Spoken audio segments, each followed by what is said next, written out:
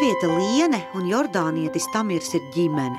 Satikušies un iemīlējušies laikā, kad Liene kristīga labdarības projekta Zvaigzne austrumos ietvaros mācīja angļu valodu bēgļu bērniem Jordānijā.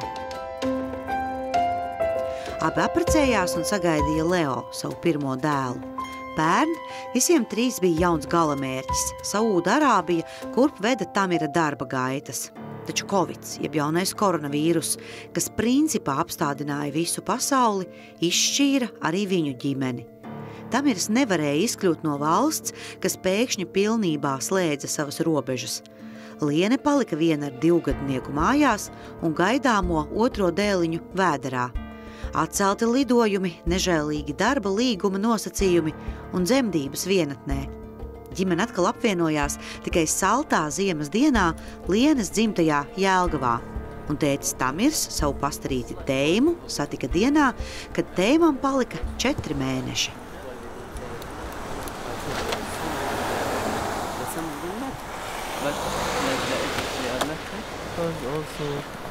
like they didn't study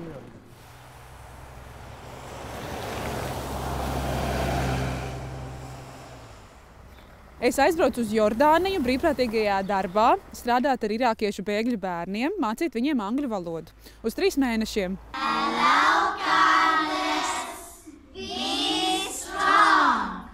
Super! Go! Gina, Un eh, man, man tā nostāja bija, ka es nemūžam nekad neskatīšos uz ārzemnieku kā uz vīra potenciālo tādu eksemplāru. Nemūžam. Es precēšu latviešu kādu Jāni Juriju vai nedzīvošu kaut kādā mazpilsētā pie ezeriņa, pie dīķa, pie meža un tikai ārzemnieku. Un aizbraucu uz tiem trīs mēnešiem un tur bija tāds tā mirs. Bet nu, es jau dikti tā ielējos pretī, un man viņš nepatīk, es par viņu nedomāšu, un tā un tā. Un, un es aizbraukšu atpakaļ uz Latviju un aizmirsīšu par viņu. Bet nu, sirdī jau nevar pavēlēt. Nu, atgriezos Latvijā un tā raudāju, tā raudāju, tā raudāju. Un izrādās, ka šis erdikts pārdzīvoja. Un, un tā es aizbraucu tur vēlreiz, uz vēl trīs mēnešiem arī to pašu brīvprātīgo darbu veikt. Un, un tā pa bišķim, pa bišķim mēs sapratām, ka nu, vairs jau neiztiksim viens bez otra. Like Mana versija ir krietni īsāka. Viņi man ieraudzīja, iemīlēja, un mēs apprecējāmies.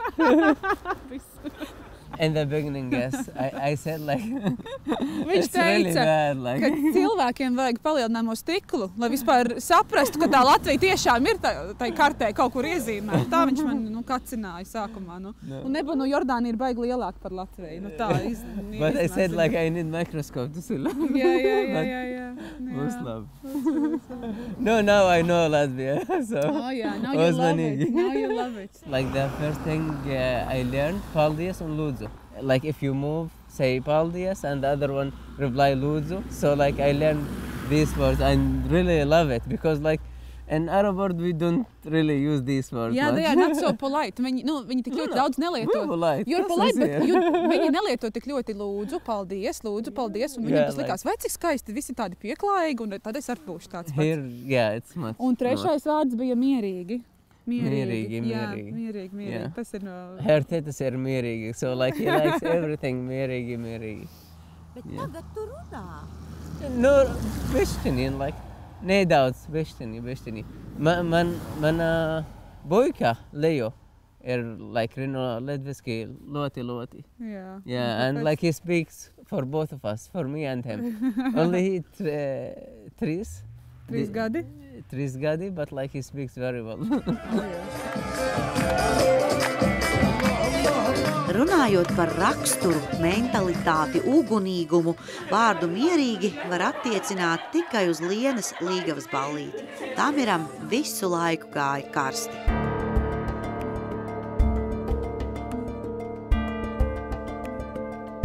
Tamirs vairāk kārt uzsver, ka uzturēt ģimeni ir viņa goda lieta. Tieši tādēļ ģimene palika Jordānijā, jo Tamirs ir ķīmiķis, strādā lielākajā farmācijas kompānijā un palīdz uzņēmumam veidot filiālis arī citās valstīs. Un tieši šis darbs, kad Tamirs devās uz Saūda Arābiju, arī bērnu uz ilgu laiku izšķīra Lienu un Tamiru. Un martā, 14. martā viņš aizbrauca uz Saudārābiju, nu, teikt, lai sakārtotu mums vietu, lai dabūtu dzīvokli, dabūtu mašīnu, tur visus dokumentus nokārtot. Un es tolaik jau biju tikko, tikko stāvoklī. Un tā doma bija, nu, ka viņš ātri aizies, nu, aizbrauks uz Saudārābiju, visu sakārtos, un mēs tūlīt pievienosimies ar vecāko dēlu. Un viņš aizbrauca, un dažas dienas pēc tam Saudārābija aizver robežas. Un, protams, tajā mirklī mēs jau nu, vispār nenojautām, ka kāds varētu turēt robežu ciet vairāk par nedēļu vai divām. Un gala beigās Saudārābija noturēja robežu ciet sešus mēnešus. Parādi, kā tu māki vilkt mašīnu? Sākotnēji Liena Jordānijā palika divi tā ar mazo dēlēnu. Kur mēs esam, Leo? Uz jumta? Kāpēc mēs esam uz jumta, Leo? Tāpēc, ka nekur citur nedrīkst iet. Tas kaut kāds nelegālais. To tūlīt apcietinās. Tad Jordānijā sākās ļoti daudz dažādu ierobežojumu Covid dēļ. Tas, kas ir Latvijā un par ko ļaudis pukst, tas vispār ir strunts. Tas ir strunts salīdzinājumā ar to, kas bija Jordānijā. Tur bija tādas dienas, piemēram, četras dienas pēc kārtas, neviens nedrīkst ārā uz ielas iziet. Vispār nedrīkst. Ja tu izēji ārā uz ielas, tev liek cietumā. Tur auga cipari, eh, cietumnieku cipari, nevis saslimušo cipari pašā sākumā. Un tad nu, kļuva pavisam grūti. Man ar divgadnieku dzīvoklī, tu uz veikalu netiec, nekur tu netiec. Un, nu, tā radās tas eh, lēmums, ka ir jāpārvācās pie tam ir vecākiem. Un tad, nu, tas gan bija tāds ļoti, nu, kā lai saka, tā delikātāk, lai pasakā, nebija mans sapņu variants, ka es iešu pie vīra vecākiem dzīvot. Bet, bet gluži vienkārši tāpēc, ka mē, es vairs nespēju parūpēties par sevi un par savu mazo divgadnieku un, un par, par augošo bērniņu.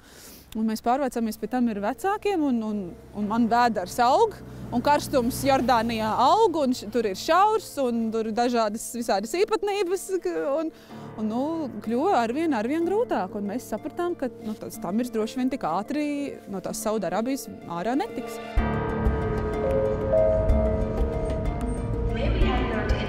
Mēģinājums tikt uz Latviju nebija viegls. Lidosta bija slēgta.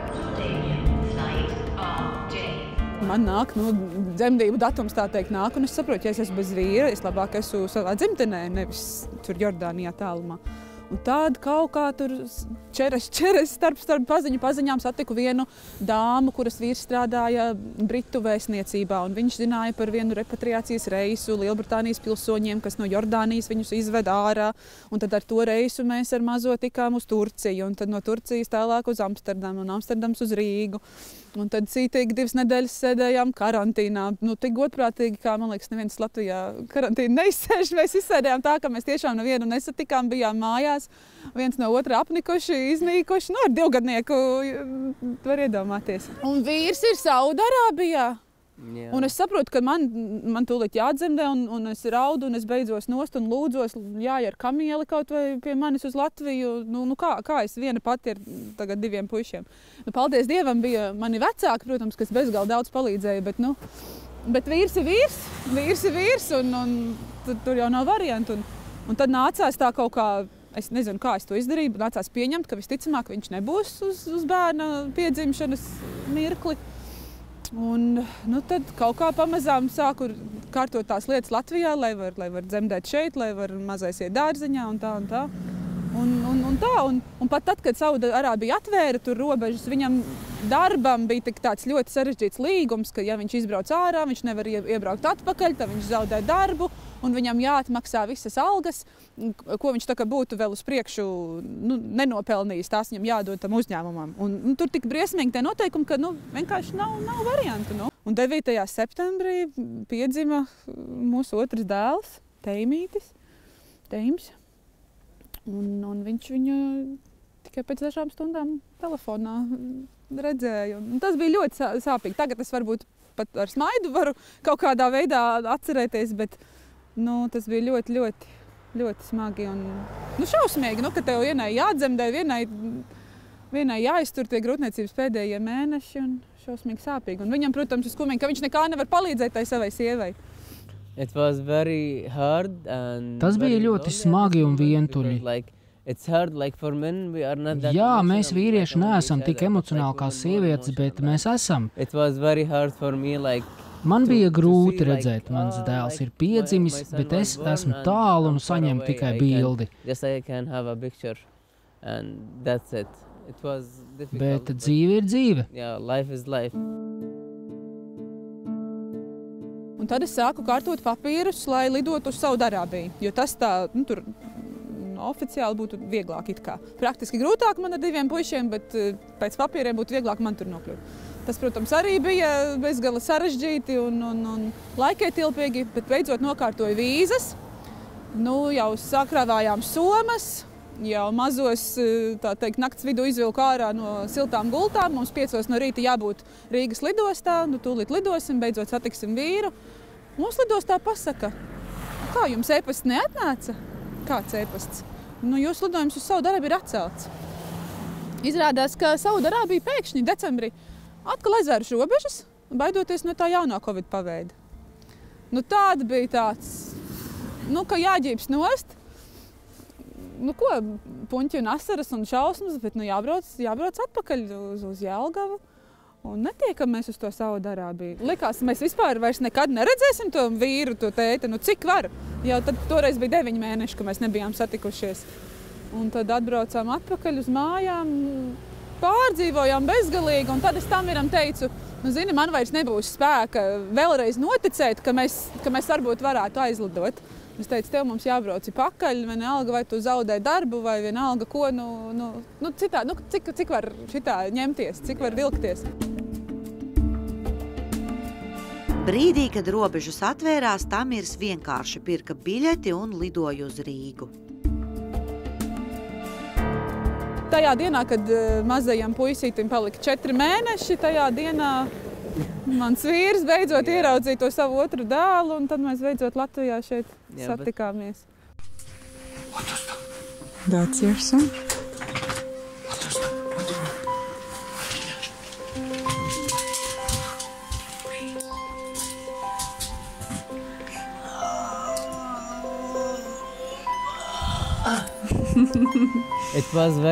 Sākumā bija ļoti grūti saprast, bija emociju viesulis. a hurricane of emotions. It was very special. Un bija ļoti aizkustinoši satikt mazo dēlu. Tā bija pirmā reize, kad paņēma viņu rokās.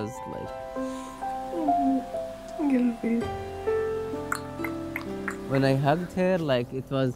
Kad es viņu apģēru, bija ļoti skaisti sajust viņu un būt atkal kopā. Kad satiku Leo, viņš smējās, bija ļoti priecīgs ļoti, ļoti priecīgs un uh, like he asked for a group. un pieprasīja, lai mēs visi apskaujamies. Like he was very happy and see the Redzēt sniegu Latvijā Latvia and un piedzīvot sniega tīrīšanu. Tas bija skaisti. No skaisti. Jā, tagad skaisti. Un mēs beidzot svinam Ziemassvētkus. Mēs aizvakar mājās ēdām stāvētus kāpostus, un viņš rulēja un spieda piparkūkas. Jo tad, kad bija no īstais 24. decembris, nu, tad bija, nu, tad bija skumīgi. Un, un visi interneta pilni ar laimīgām, skaistām ģimenēm un, un nezinu ko. Un, un tagad mums beidzot arī ir Ziemassvētku un laimīgas, skaistas ģimenes bildes. Un, un, nu, pēc desmit mēnešu prombūtnes mēs esam koronas ķīlnieki. No, but now we are Tagad mēs esam kopā, vienalga "You are vai te vai Saudārābijā. Arabia."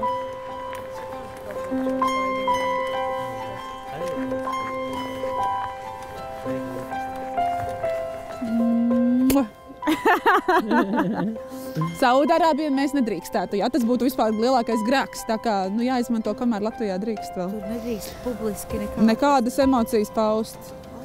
In Saudi Arabia, it's illegal to do like this. You cannot do Yeah, it. like also like you need to have special dressing code, like No, garā, yeah, garā and in some area covering the hair. Ah. Šobrīd ir labi. Tagad ir ziema, tagad, tagad. Tagad ir labi. Ir, tagad ir plus 20, eh, tagad ir nu, vēss, patīkami vēss. Vasaru es tur negribu piedzīvot, ir 45 grādi un 50 grādi. Un... In summertime, it's a little bit challenging. A little bit Plus challenging. 50 nopietni.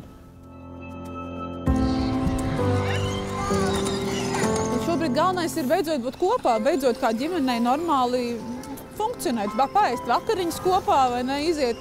Vienalga ap, apmest lociņu ap kvartālu un visas tās lietas, ko mēs neesam desmit mēnešus dabūjuši. Nu, tagad jau vienalga, kur to darām, bet nu, galvenais, lai, lai esam kopā.